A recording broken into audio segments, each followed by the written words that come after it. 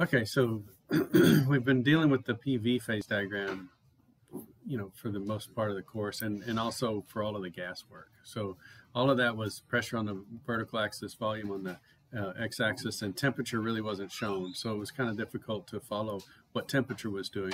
We just had isotherms drawn on there um, and adiabats. But today we'll we'll shift gears and go 90 degrees. We'll keep pressure on the y-axis, but then we'll start looking at how it changes with temperature. So just just so you just to summarize, we've been looking at PV phase diagrams, and now we're going to switch to PT phase diagrams, so pressure temperature. And then we'll introduce the 3D phase diagram surface. So let's uh, go through the PV phase diagram just to review what happens with these three different lines and to to emphasize what's going on with uh, with boiling and with freezing or melting and you know uh, yeah so condensation and freezing or, or melting and boiling. And so we have these different paths here and this is one thing that you should be able to do given any kind of phase diagram is narrate these paths. Okay?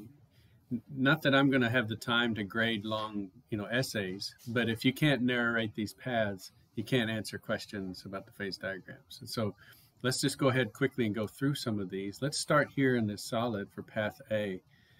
And look how small the volume is over here. So we're right here, um, path A, beginning in the solid. So this piston is pushed all the way down. So I'm just going to draw like a part of the piston, and the solid is all right here and it's all solid.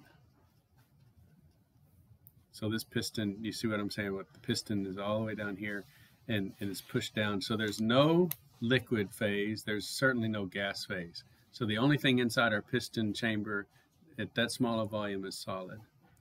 So we start to relieve, uh, well, we start to, to pull um, some volume on that, you know, open up the volume. And, uh, and the pressure would drop, but we're cranking the temperature up a little bit. We just can't see the temperature effect here. So to keep the pressure from dropping, we're putting in some temperature. So we're going to keep that same pressure line all the way across. So we increase the volume. Pressure would drop if it was an isotherm, but it's not. We're putting in a little temperature to keep that pressure. So we're going across this isobar. We get to this point. We've put in enough temperature where we start to melt it. And so this right here is the melting. This whole region here is melting, but we're on this isobar. So this is just melting uh, at that particular pressure. So solid and liquid equilibrium, that's melting or, or freezing. If we're going to the right, we're melting. If we're going to the left, we're freezing. So that's, you know, we've moved that piston out a little bit, and now we have some liquid. Okay in the solid in equilibrium. We must push it out a little further, pull it out a little further, and then we're in this liquid region. We've added more temperature to keep the pressure the same. And so when we get up, say, to this, this volume, then um, there's liquid only.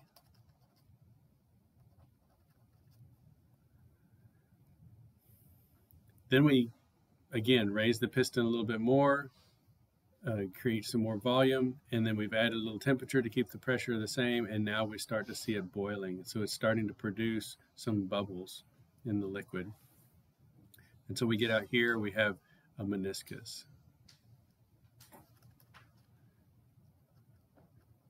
But notice inside our volume it's mostly liquid because we're way over here on this region.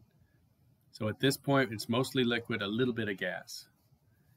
We keep increasing the volume now we're up, up here, say, where the liquid meniscus is, is pretty low. Like, in fact, the liquid meniscus will drop, like it might be here, and then the rest is gas. And then we keep going until we've run out of liquid. So the last little drop of liquid at the bottom uh, evaporates, and we're in the fully gas range. So I'm just, my picture may not be like I should actually draw little frames, you know, at this point, at this point, at this point. But you could just kind of see as we raise that that piston, we have all solid, then we have solid liquid, and then we have all liquid, and then we have liquid gas, and then we have all gas as we increase the volume. And the only reason, only way we were able to keep it out an isobar is be adding temperature. So that's why it's melting. That's why it's boiling at those particular regions. So that would be path A. Okay. Let's do path B. So here we start out in the solid. Again, the piston's pushed all the way in, solid only. And down here, we're at, at such a low pressure that the, the liquid just doesn't exist below this pressure. Okay. And so we go straight from solid to gas. So we get up, we get up, uh, say to this height and it's gas and our solid has shrunk down. It's even really smaller, you know, and eventually we get up here to gas only. So in this region, it's solid and gas, and that's the sublimation region. I'll go ahead and put in this region boiling.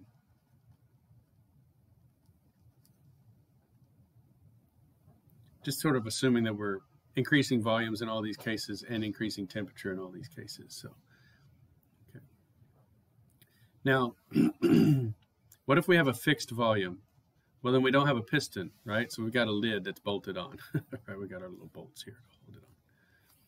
Now we've got a fixed volume when we increase the temperature. And so we could be in the sublimation region. We could increase the temperature, but we've got a closed container. And so if you've got a vertical line here, that's a closed container because it's a fixed volume. So we're in a closed container. We start raising the temperature. At the triple point, we have all three phases in equilibrium. And so we would have a little solid here. It's a solid. We'd have some liquid. And we'd have some gas. Um, oh, I don't need a line there.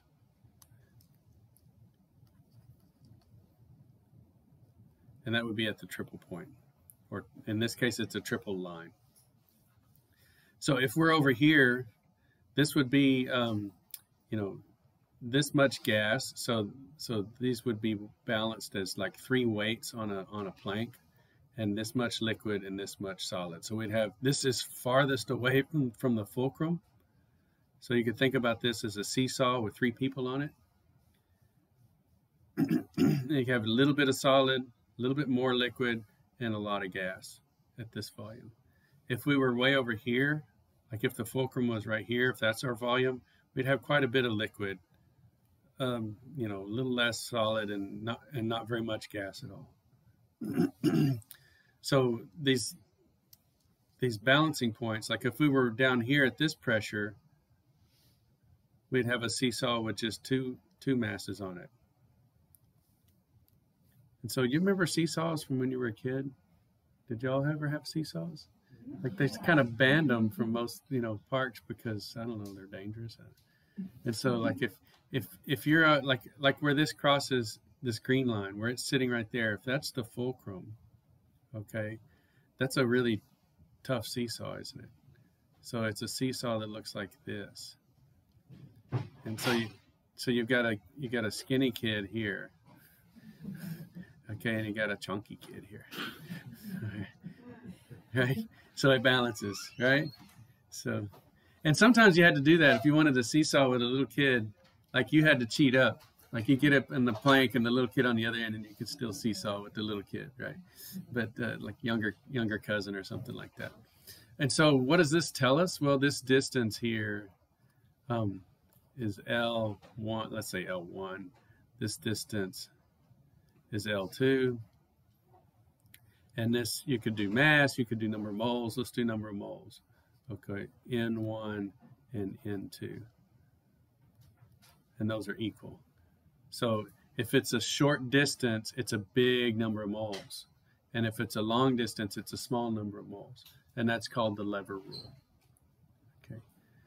And so any of these equilibrium regions in a PV phase diagram, we have to use the lever rule to figure out what the relative proportions are of, like in this case, the gas and the liquid. Okay, since there's a break right here, there is no solid. So it's it's between where this it's this mark right here at that pressure and this mark right here at that pressure. Add together to give us this volume. So the amount of gas volume here is large, the amount of liquid volume is small, and you would use the lever rule to figure out what the relative proportions are. Okay. Now if we go up past this point, then we're in the gaseous region and it's all gas. So you put enough heat into it, you lose the solid, then you have equilibrium with liquid and gas, and then you lose all of the liquid and you're in the gaseous region. Okay. And this is in the gaseous region, this is the critical point. So it diverges from the liquid gas equilibrium region over here, not at the critical point. So it's not going to move left. If you're in a fixed volume, you've picked your vertical line, you can't leave it. Okay, because that's the container's volume. So whatever the container's volume is, that's your vertical line. And then you look at the phase diagram and you could calculate how many moles are in the gas, how many moles are in the liquid and everything in that container. So that's pretty cool that you could just use this phase diagram to calculate the partitioning of all of the different gas, solid, liquid, and gas in a container. Okay. Now let's take this diagram and rotate it to where we can see the temperature axis. Okay, so here's the, the PT phase diagram.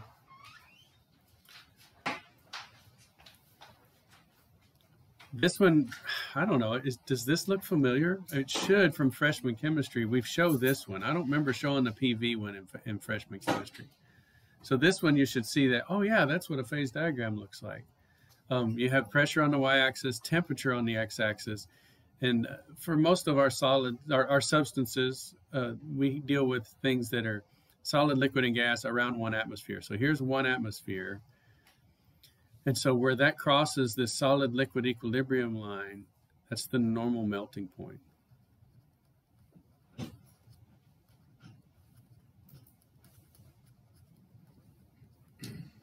Okay. And where it crosses the gaseous line, that's the normal boiling point.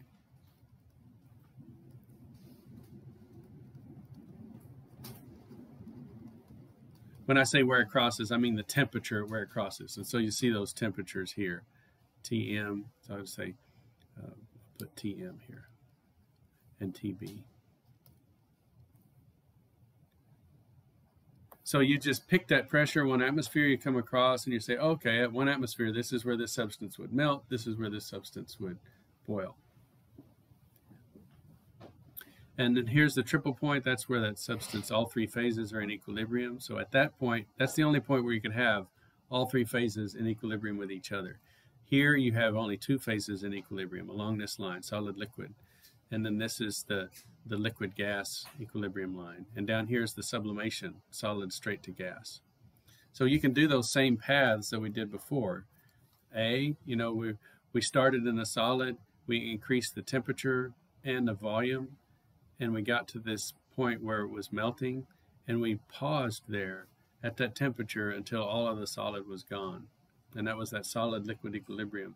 And then we now we're in the fully in the liquid region increasing the temperature increasing the volume keeping the pressure the same. Then we boil. And we sit there in that temperature pause until all of the liquid is gone and then we're just heating the gas. And then down here was the B line where we were all solid, and then we had sublimation, and we sat at that sublimation temperature until it was all gas. And then C, we worked our way up through that constant volume where we had solid and liquid in equilibrium. Then we reached the, the triple point, continuing to heat it, all of the solid was gone, and then we had liquid and gas in equilibrium. So it was boiling, and eventually we left that that space in that volume and kind of diverged into the gaseous region.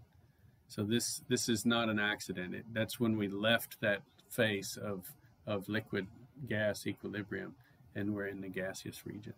So that was path C in the previous one. So if you're looking at the notes, you could go back and forth between those diagrams and A, B, and C paths are the same on these two.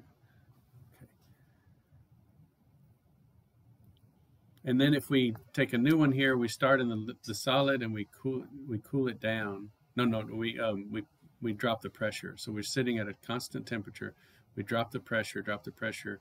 Um, then at this point, then the solid melts and becomes a liquid. We keep dropping the pressure, dropping the pressure, and then the liquid would boil and we would get a gas. So we're just increasing that volume, uh, dropping the pressure, but keeping the same temperature. Now let's talk about phase diagrams and how they're constructed. This is sort of a side trip, okay? So new topic.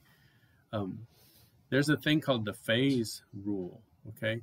And there's degrees of freedom in this particular aspect too. Remember, most of our degrees of freedom, when we talked about them, they were motional degrees of freedom. Like translation, we had three degrees of freedom moving in X, Y, and Z, and they were independent. So that's what we mean by independent degrees of freedom. I can change X without changing Y and without changing Z. Okay.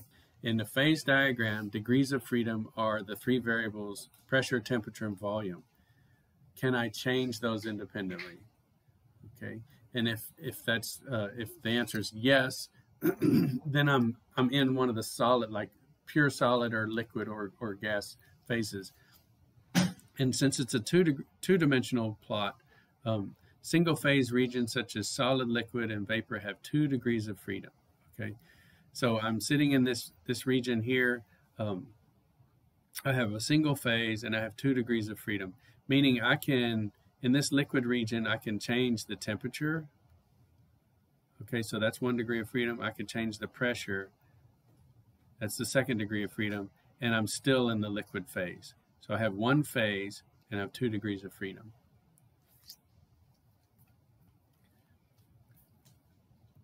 Now, two-phase regions have one degree of freedom. So if you look here on this line right here, I've got two phases and I've only got one degree of freedom. F is the number of degrees of freedom.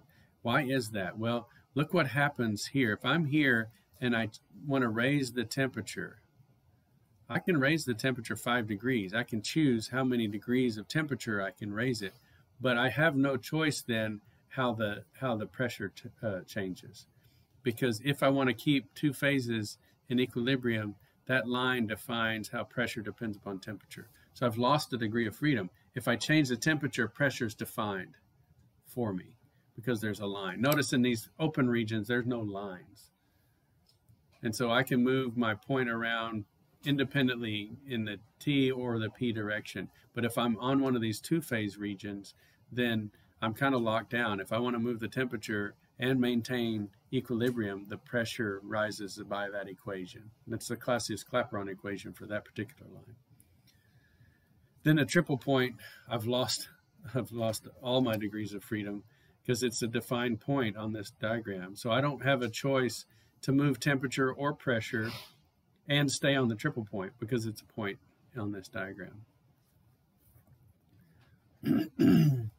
so this is the phase rule. It's the number of components minus the number of phases plus 2. And, and I'll just point out in the next slide why we care about this. So this is the number of intensive variables that can be changed independently without disturbing the number of phases in equilibrium. So um, C is the number of components. A pure substance has a has a C equal to one, and then P is the number of phases in the in the in equilibrium. So let's look at this. So here's our one component phase diagram. Um, we could have like phase alpha, beta, gamma, etc. And in here, in, the, in any of these open regions, we have two, uh, two degrees of freedom because we have one phase. Uh, on these lines, we have two phases in equilibrium, so we only have one degree of freedom. If I change pressure, then the temperature is defined by the line. If I change temperature, pressure is defined. We have triple points, which is the intersection of three phases. But notice this phase rule tells us that this point is forbidden. And that's the utility of the phase rule. It tells us that if we just have one component in a two-dimensional phase diagram, then uh, we can only have a maximum of three phases in equilibrium. We can't have any kind of quadruple points because there are not enough degrees of freedom for that. So four phases in equilibrium would be forbidden by the phase rule, and that is for one component. If we had multiple components, then we would end up with more degrees of freedom. But for a single component, so what that tells us is if I'm if I'm doing data and I'm collecting data and I'm I'm looking at how these uh, lines all converge right here, I know even though it looks like they're all four going to the same spot, that they can't actually go to the same spot. One of these lines is going to diverge. Maybe this one will cut over here and make a triple point. And so then we have a triple point here, and this line's gone, and a triple point there. So the phase rule tells us how to construct these phase diagrams. That's that's all. I just feel like I have to talk about the phase rule at such an important point of, of thermodynamics for these phase diagrams but you're really not going to use it. We're not going to be constructing phase diagrams in this course, but I need to talk tell you about the phase rule and how it shows us that certain things are forbidden in these phase diagrams, like a quadruple point for a single component. Okay. So back to uh, phase diagrams and interpreting them. Let's look at an some experimental phase diagrams. Here's the experimental phase diagram for water. And it has the normal freezing point, the normal boiling point. Um, and it's kind of a strange phase diagram. I've got this break right here. So this is uh, going up. This is one atmosphere. This is two atmospheres. And then there's this break. And then we go like 2,000, 4,000, 6,000. So it really changes a lot in terms of its y-axis. And so that's why this curve, this curve normally goes up very smoothly, but we've changed the, the rate of change in the y-axis so, so it looks strange. It diverts over here. Because um, on a scale where we're changing by thousands, then it would, it would change its slope. Um, so here we have uh, the critical point for water at 647 degrees uh, Kelvin. And then over here we have all the solid phases. So um, the ice in your refrigerator is ice one. How do I know that? Because we're at one atmosphere. Okay. And that's a, what we would call normal ice structure. But if we keep the temperature cold and we really press on it and put it in a piston and just jam down on it, we'll see phase, phase changes even in the solid ice. It'll take a different crystal structure. And so then they discovered ice 2 and ice 3 and somewhere in here, I don't know exactly where, um, was what they called ice four. And then they discovered ice five and ice six. And then, then later they discovered that ice four was actually one of the others. And I don't remember which one. And so uh, retracted.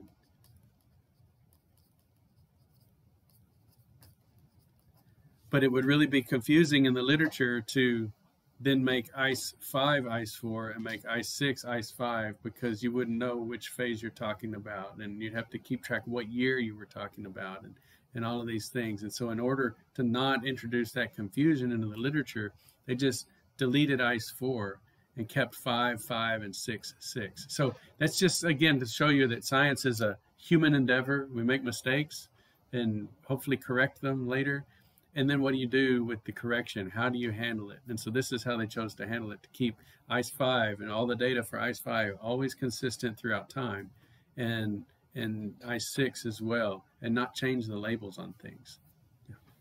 Uh, just to be clear, does that go from two atmospheres to 2,000 and 4,000 and 6,000 atmospheres? Yeah, yeah, yeah, yeah. So, so exactly. So let's, so someone get your calculator out and calculate 8,000.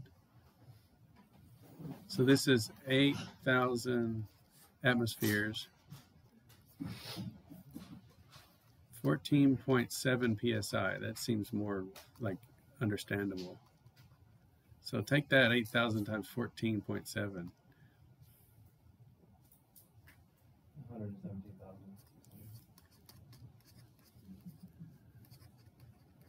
So every square inch of that container has 117,000 pounds on it. so where is ice five but in the lab you know maybe you know you've got a i don't know some ice planet out there, you know, Hoth. Uh, deep in the icy core of Hoth, you have that much pressure from gravity, you know, pulling all that ice together. You might have ice six in the in the center of Hoth if it really is an ice planet. It looks more like a rocky planet that's cold. But if you're not a Star Wars fan, I'm sorry. But so that's pretty. And what's interesting too is look at the slope of this line right here. This liquid uh, solid line. It's it's positive, right? So you could imagine a point where this line would continue at a high enough pressure to where it would it would be a solid above the boiling point of water, which kind of breaks your brain, doesn't it? The normal boiling point of water is at one atmosphere, but if you have ice in you know a million atmospheres, you might be able to heat that up above the boiling point of water, but it's still a solid. because you have it under so much pressure. And so that's what the value of these phase diagrams are. They tell you what phase you're in at whatever temperature pressure regime you're in. So you could theoretically have ice above the boiling point of water, which kind of is weird, isn't it? This is purely theoretical, though, right? No, no, no. one ever seen this. No. I mean, we have what they call diamond anvil presses. And so you have this really big lever arm uh, of steel and, and a hinge, and real close to the hinge where you have a lot of mechanical advantage, they, they put diamond crystals in this thing. And since diamond can withstand the pressure, it can deliver like, uh, you know, like a million atmospheres of pressure. And so you put a substance in there, and then you start turning this screw way out here, and it's twisting those arms and putting pressure on it. And one of the ways they measure the pressure is they'll put like a ruby crystal in there, and the chromium, the the uh, visible spectrum of the chromium atom. You know, atomic spectra have really narrow lines. Remember from PChem one, and and you start squeezing on those chromium atoms, and those lines actually start to shift because you're squeezing on the atoms. particle in a box, right? You put it in a smaller box, and the and the the energy levels spread apart, and so you can actually measure pressure with the spectroscopy. You know, so you get in there and you look at the shift of those peaks in the visible spectrum, and uh, you can tell what pressure. And they have to calibrate it, right?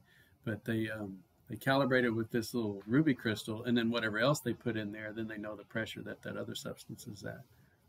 So it's really high pressure science. And so, and also diamonds are optically um, transparent. And so they're, this little diamond press anvil is open on either end. And so they can send lasers through there and do spectroscopy and characterize the phase diagram that way. So you want to know what the structure of ice six is, you use spectroscopy through these diamond crystals to see what happens. And you can see when it's having a phase transition. So it's really crazy. Solid solid phase transitions are, are kind of interesting. Uh, here's CO2. Oh, another thing that this shows that this uh, this negative slope on this solid liquid line. That's what I was saying was unique for water. It's not exact. That's not the only substance that does that, but it's so rare. And that just again means that the solid is less dense than the, the liquid. Okay, the solid exists at lower pressures. The the liquid exists at higher pressures. That turn that changes. Uh, slope changes when you get to ice five and ice six, but for ice one, um, you have that negative slope. CO2, notice how CO2 has a positive slope. So the solid's more dense than the liquid. The solid would sink. You put CO2 in liquid CO2, which you'd never really see. Um, but if you did, the solid CO2 would sink. It's more dense. Um, here's again, phase diagram tells us what happens in one atmosphere. It sublimes. It goes straight from solid to gas. The publisher kind of missed that little mark there. So you see how the little dotted line goes past the mark. So anyway, um, it should actually go down right here. And so then that temperature at if you were you had dry ice in equilibrium with its gas would be around 194 Kelvin. So really cold. That's why it burns your skin. And uh, and then the triple point is at five atmospheres and 216 uh, Kelvin. At room temperature, so if you were to put dry ice in a container and let it warm up to room temperature. Now, so I don't recommend this, okay, because you got because you have 67 atmospheres in a container now. okay. So at room temperature, it would be 67 atmospheres. Again, multiply that by 14.7, and we'll see what that is. If somebody wants to do that for fun. And then here's the CO, the supercritical. You know, 304 is the critical point, 72 atmospheres. So you get that CO2 up here, and that's that supercritical CO2. You could cool it down and be in this region at room temperature. I think that probably still classifies as supercritical CO2 because it's above the critical pressure um, and the critical, yeah, it's above the critical pressure at room temperature. So um, you'd have to pressurize that liquid and get it up to that point. Here's helium, which has got a really strange. Um, it does have a negative slope to its uh, solid. No, actually, this isn't solid. This is uh, the superfluid that I was talking about. So helium one, helium two. So it has a liquid-liquid transition. It's just so strange. They're both liquids. How can they have a phase transition? And so the only way to detect that really is this the superfluid property where where the um, helium 2 superfluid has no surface tension.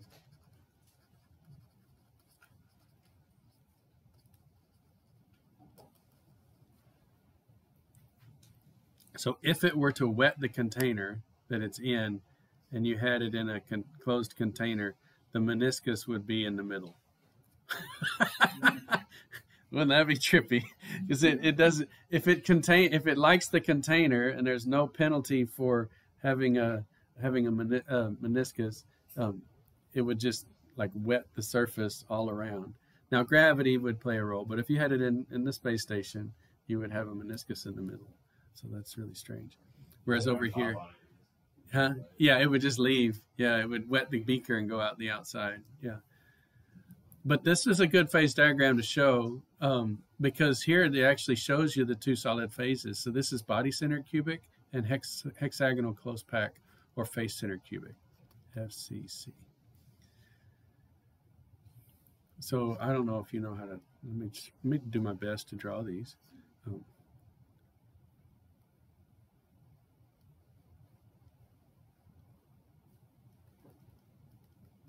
So I'm drawing a cube, okay? And so if you have a, a, a, helium atom in every corner of that cube, okay, and then one in the middle, that's body center cubic, BCC. Now look how that was put together. I've got four atoms here and a ball resting on top of those four atoms, okay? Well, I mean, that that's also next to one that's resting on four atoms here, here, here, and, and in the back.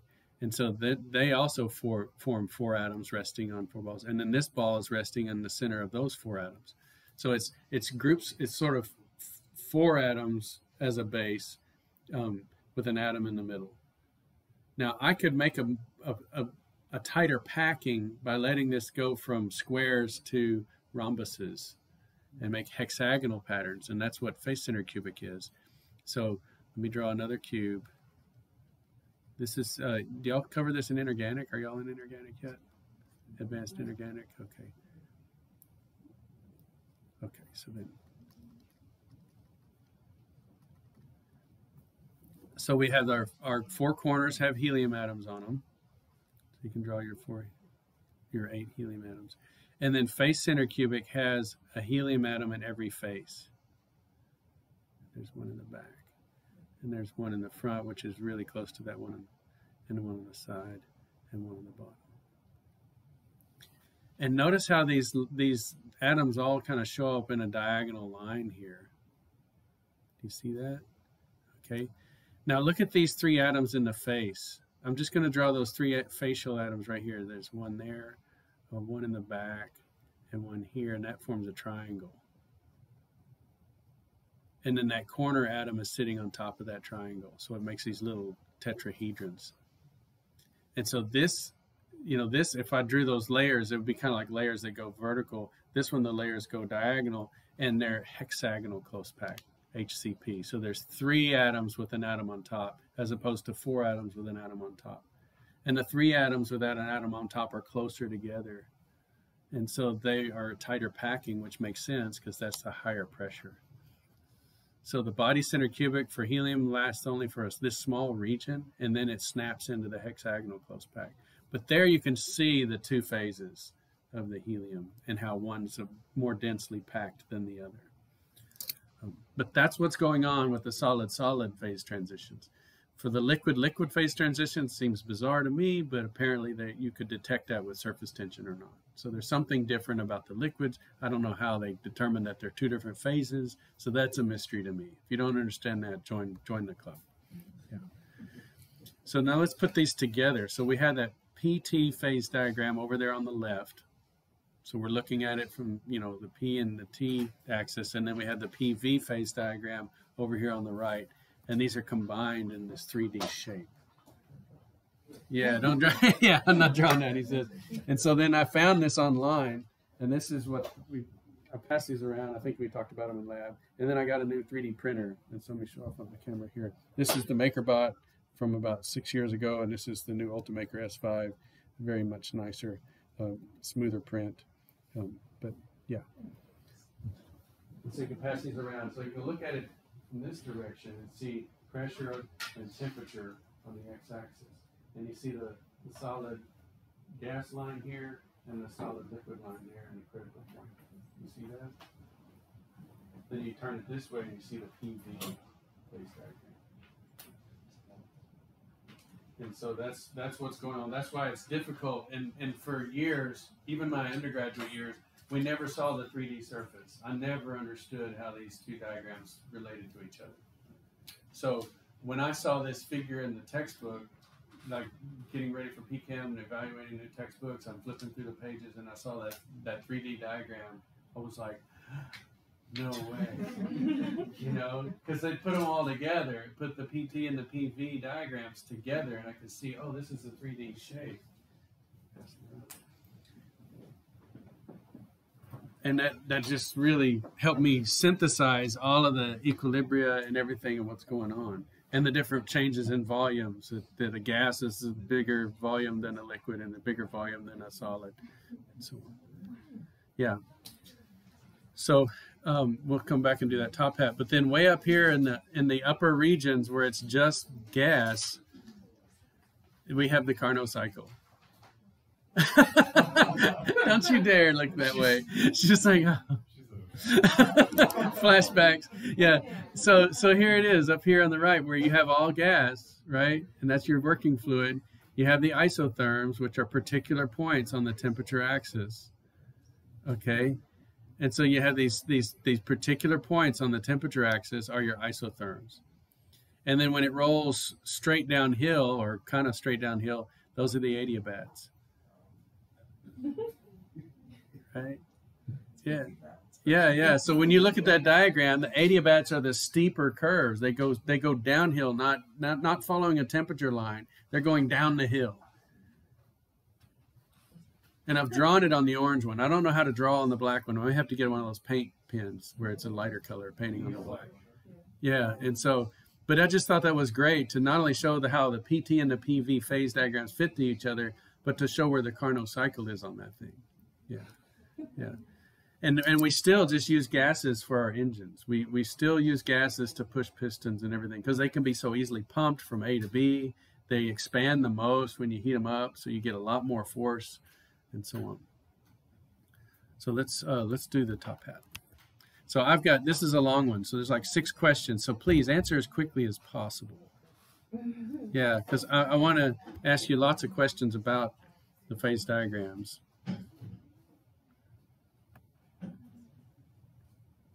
Yeah, okay, good. And let's go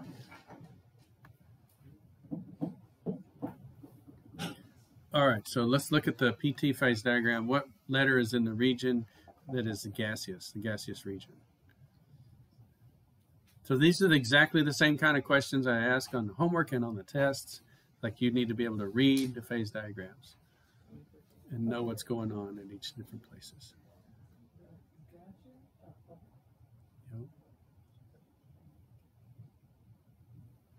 All right, good deal.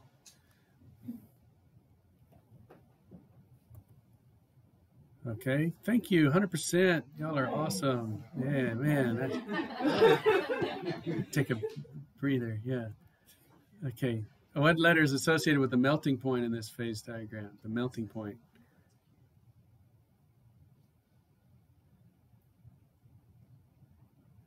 Pay attention to the lines.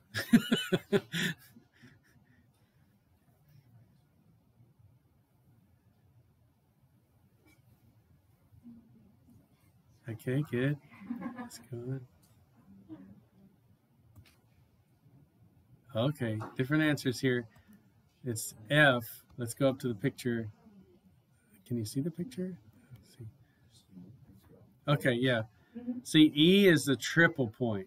So it's a particular spot on the phase diagram, but the melting point, the normal melting point, you follow the one atmosphere line across and you pick the, the um, temperature at which it crosses. Okay, which letter is associated with the triple point? I kind of predicted that people would.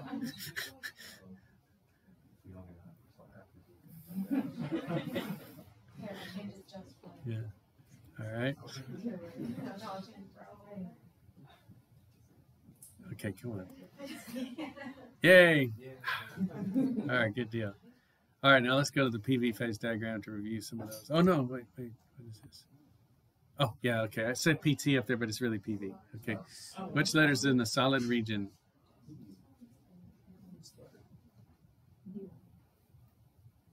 I really wish I, you know, they had those point at touch questions, but there's no way to put a right answer in on those. So, so I have to just do the letters. All right, good deal. All right, so A um, is the right answer. Scroll up. See over here. So if I if I'd forgotten, let's say, oh dang, I can't remember this crazy diagram. Think about this: high pressure, low volume. So you're squeezing it into a smallest space. The most dense substance in most substances are, is the solid. Okay. And then the boiling region. Now, in the PV phase diagram, the it's not a boiling point, it's a boiling region. Because there's a region where there's equilibrium between liquid and gas, so that's the boiling region.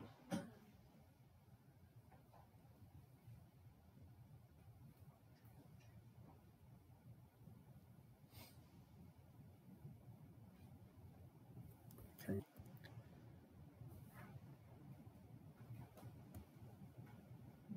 Oh, almost. Okay. So E is the boiling region. If you couldn't remember between E and F or G, over here at high volume, moderate pressure, but the high volume is the key, that's gas. And so the boiling has to incorporate gas. And so it's either E or G. Okay. And then you know that A is solid because it's the lowest volume. And so G has to be gas solid. And so E has to be between the gas and liquid. So that's that's how you would piece it together. I'm just kind of walking you through the thinking if this is something that's still stumping you. Okay, and then the sublimation region. What region indicates the sublimation? And obviously I copied all these questions, so I have that copy paste error up there. It says PT, phase diagram, but it's a PV.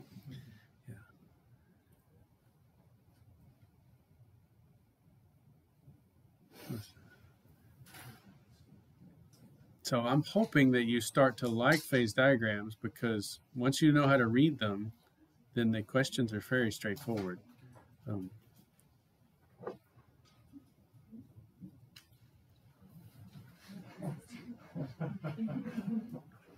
okay, G, very good. So that's the region down there at the bottom. The gas is on the gas is on that side, the solids on that side, and that's the region of sublimation. All right.